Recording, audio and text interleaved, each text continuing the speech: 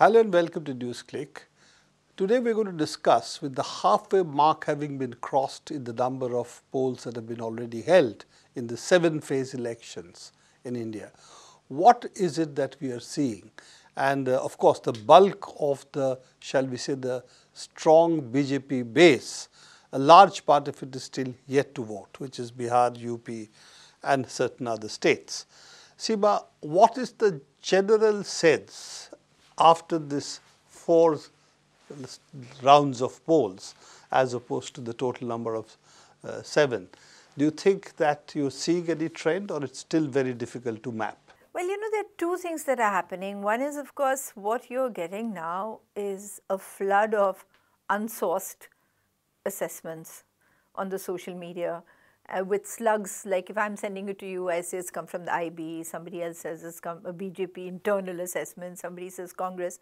And that, those are going all over the place. So there's obviously some kind of disinformation that is happening because none are really matching. Uh, some are giving a huge number to the NDA, others are giving nothing. So, you know, but if you go by ground reports, in these four uh, phases, there doesn't seem to have been any kind of a wave. So, it is not a Narendra Modi wave, but it's not an anti-Narendra Modi wave as well. So, you have had real contests. I mean, that's what when the reporters went in, what happens in the last 24 hours, we can't always say, but it is like there is on issues, you know, like in Aurangabad, people said that they're only going to vote for drinking water.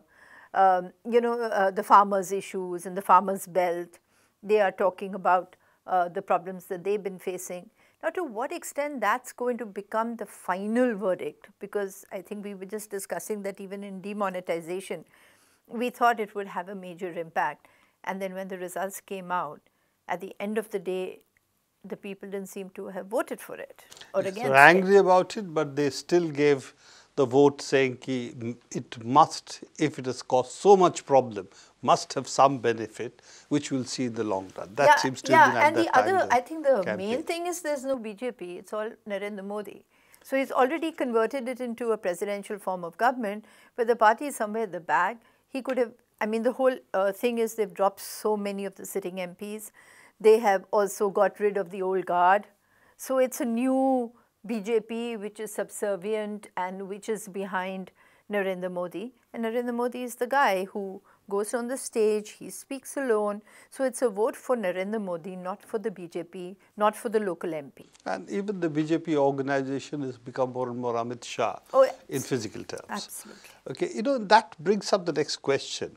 These are the two who have also made a huge number of statements which the opposition have complained about to the Election Commission. The Election Commission, now it appears there was at least a division in Election Commission, but the Election Commission has been, appears to be supine. For a long time they did not address it till the Supreme Court said, why aren't it, we are going to hear about this petition. Earlier Supreme Court said you had powers with the Election Commission, said we really have no powers, you know, we are just uh, yeah. body who's doing nice, but there's really not much we can do. And we are a toothless body according to the Election Commission itself.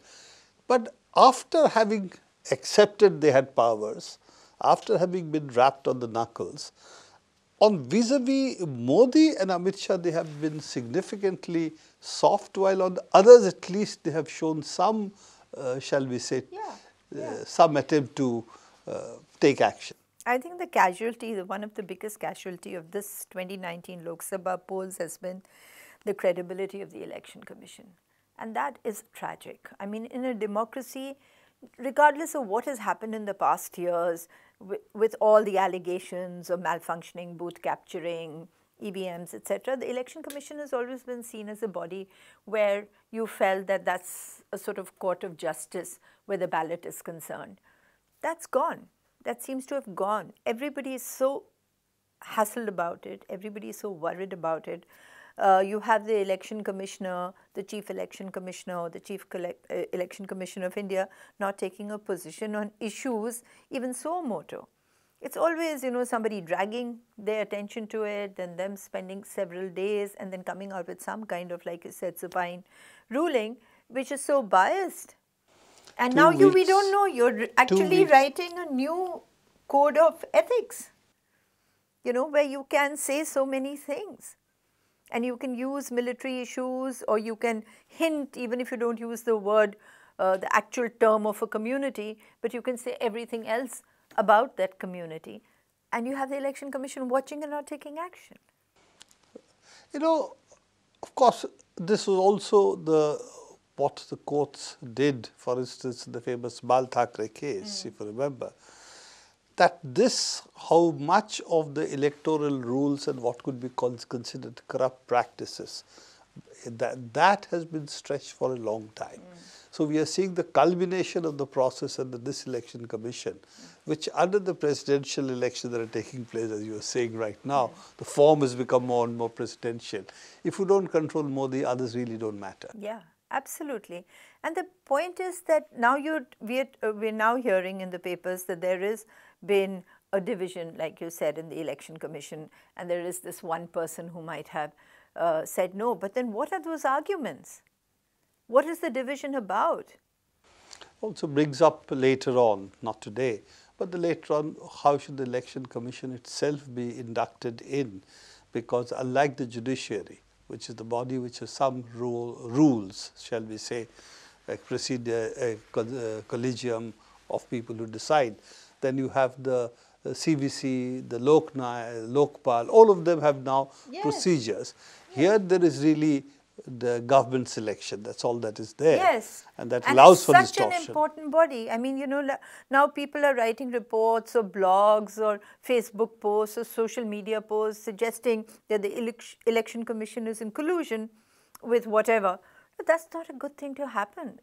And it's not, it destroys your fundamental faith. I mean, we had one thing, which was the five yearly or even our state elections, where there was this something, a credibility which the world came to observe. And also the Indian electorate and the Indian people have both faith. asserted their identity through the elections. They have always given verdicts which you could respect even if you didn't agree. Uh, but that process, whether the verdict is real and just, itself comes into question. This would be a very sad day for democracy. But getting out of that mode, because that's really something we have to take up also after the elections. Uh, looking at the election mapping itself, as, uh, that, as we were talking about earlier, what are the state, the two states, which is what could be called the Hindi heartland, UP and Bihar, put together, they have very 120 odd seats in the parliament, which is in that sense the largest number of seats which has gone to BJP and forms a core, if with, probably with Maharashtra, Gujarat, Madhya Pradesh, Jharkhand, and Chhattisgarh, Rajasthan. These are the states which really contri- have contributed to almost 90% of the BJP seats. In this Bihar, how do you see Bihar? See, this is what is so interesting. You have UP Gathbandhan and you have a Bihar Gathbandhan of the opposition. You have unexpectedly, maybe, the UP Gathbandhan doing very well because it sort of works out, the stats work out, the fact that the two have established a certain very harmonious kind of functioning, Akhilesh Yadav and uh, Mayawati, and of course Ajit Singh as well uh, and a certain kind of chemistry that has developed between the three leaders. So that's very evident. And just sheer stats brings it together. So a combination of stats, numbers, which matter of course, And strategy. also the organizations. Both seem to have organizations on the ground and Ajit Singh's uh, party. They have solid organizations on the ground. They have a good leadership. They have a credible leadership.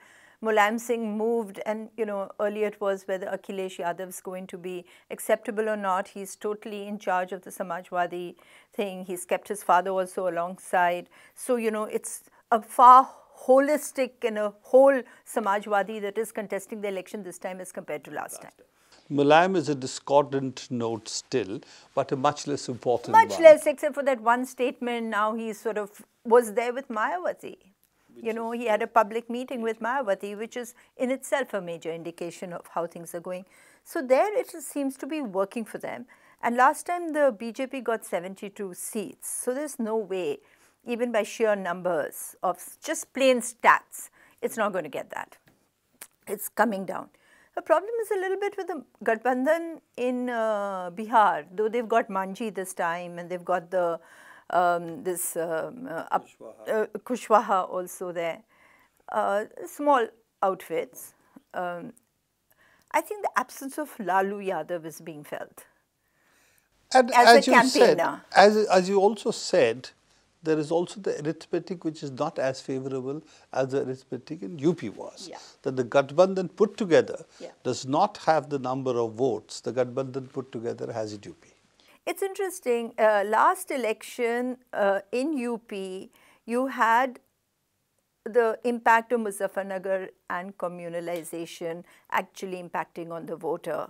Now it seems that because UP sort of became the laboratory with Yogi Adityanath of communalism, in which the marginalized were all feeling the pressure, suddenly the caste identity of the people and the communities has become more important, and people seem to be voting more on caste lines. Even in Bihar. In uh, no, this is UP. UP, but if it comes now, to in, if we go back to Bihar, in the last election, you had the caste playing a role and keeping the vote non-communal.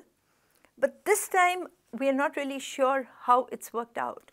If we look at what the ground reports seem to be, the communalization has gone deeper in Bihar this yes, time and than without earlier. the without the encounter deaths, without that level of lynchings, so they have started. And why the communalization I feel is more is because now Nitish Kumar is slipping, and whatever reports we are hearing, it could be wrong, but these are not totally verified. Um, but the ground reports from journalists that the BJP is increasing at the expense of Nitish Kumar. You know, that was also the other part of Bihar, and as distinct from UP, where the left, then that includes the socialists, the CPI, the liberation, the CPIM, all of it put together, had a much bigger presence in Bihar for longer than it had in UP. UP did have that presence 50s, 60s, but it had really slipped down quite a bit, and the socialists then went into uh, Yeah. was no, identity politics of certain kinds, Yadav and so on. But in Bihar, that that was a shall we say a block to communalization. This time it does appear that Bihar has been more communalized and partly Nitish, as you said, losing Yeah. ground. Yeah. Because Nitish was seen as a figure who also had support amongst all communities. And that's so now we are looking really, there is a slide anyway. The BJP is not going to, and uh, you know, they're not going to get the same kind of seats. Oh, yes, NDA. Nitish and, so uh, there is BJP going to put be together a was about drop, 37 But whether the drop is going to be as much as expected earlier, one is not sure. RJD is claiming it will be, but you know, we'll have to wait for the ground And reports. what you said, the Lalu not being there, uh, Tejashwi and others have does do not have the charisma. He doesn't have it. He's just about held the party together. He's a good guy. He's not such a, you know, novice as uh, some might say. But at the same time, without that whole flair and that authority and the campaigning style, if you don't, you're not hearing that from Bihar anymore. We heard that last election, coming from Lalu. And we thought that Lalu being put in jail, there would also be a sympathy factor. We have to see how much that plays out. Yeah, I think the Yadav vote is still where it is. It's still with the uh, RJD. It hasn't really shifted. But uh, Lalu had the had the impact of further consolidating not just the backwards, but I mean the others, but the other backwards as well. So now we'll have to see how it has worked out. And do you think Kanhaiya and Begusarai is going to make a difference? make a difference, he should win. I mean, he should win. He should win because uh, I think he's got a lot of things going. I mean, apart from the national, we all know what the national campaign is and um, what kind of good politics he represents, and the fact that he is, um, you know, in his election is is really embodies the resistance to communalism, to authoritarianism, to the kind of politics we have been experiencing over the last five years. Having said that, it's a real fight, you know, because that kind of charisma is there in Delhi and with others, but it wasn't there in Begusarai. So he had to fight a hard fight. But every week the campaign went up Picked and picked up. And, you know, it reached new levels every week because he got the support he needed. He got the right kind of people who needed to go and speak to the Muslim community, which is a big vote bank there. He got the la- right kind of support for the Dalits and the Paswan vote, where Jignesh and others helped. And the Bhumihar has a certain left presence in that vote, and he himself is CPI has that uh, presence. So, I mean, the later reports were that he should be winning. And also, he seemed to have cut across caste community lines Because for the his youth. campaign, you know, for what, the youth. Yes, Youth seem to have yes, identified themselves with yes. him and much no, more. and what is very good is that he never brought the campaign down from the issues that really matter. He never became, you know, uh, somebody who's pandering to some local uh, hate or divisiveness or, uh, uh, you know, and appealing to communities. He kept the issues hard. He didn't let the campaign drift. And his hold on the campaign right from day one till the end was very, very visible. And I would give him directly the credit because, you know, in an election, it is the candidate who really determines how he wants to fight that election. And he knew how to fight it. So that's a positive sign that where CPI was third earlier, that he has represented at Yeah. least a significant fight and possibly winning that seat. So, and if that happens, it would probably also be the change of some kind in Bihar politics because It he would have a national, but also also pan Bihar uh, presence. Absolutely. It will change a lot of things apart from your next Lok Sabha. It will change, it will be a, sort of an example and a demonstration of the counter narrative and how it can work a and, how it should work. And a very articulate Yes. counter narrative. Yes. Okay, coming back to other areas, Bhopal.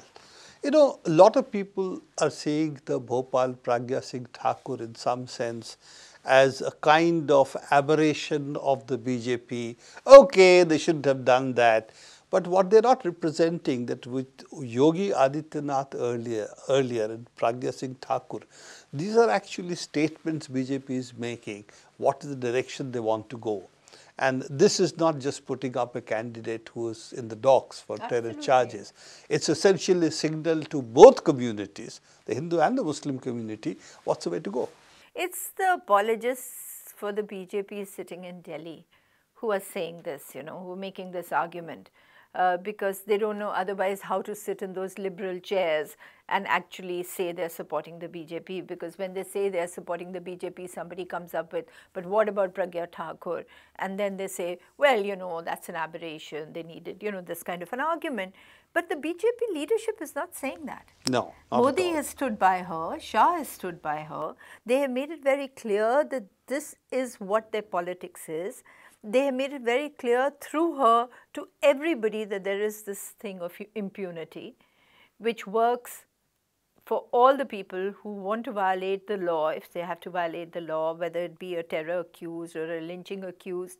Um, as long as you support the BJP, everything is good for you. And also a larger message that Hindu violence is not terrorism.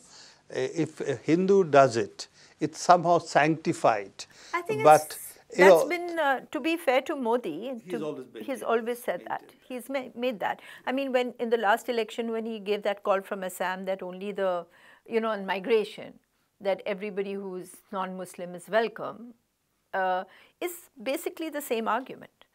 That- And you can also see it on this, so the Hindus cannot be violent argument now, which is going on.